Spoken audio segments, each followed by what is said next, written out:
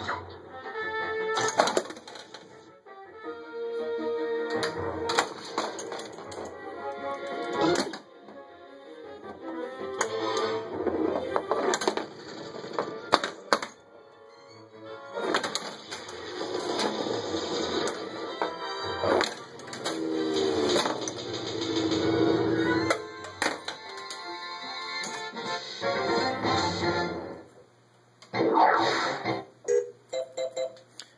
We'll show the flashers without gameplay.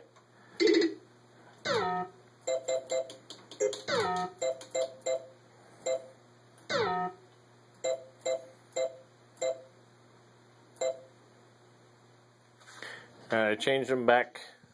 We got red, and I put orange now underneath. And then uh, added some flashing effect to the ruins. So, I think it looks pretty good.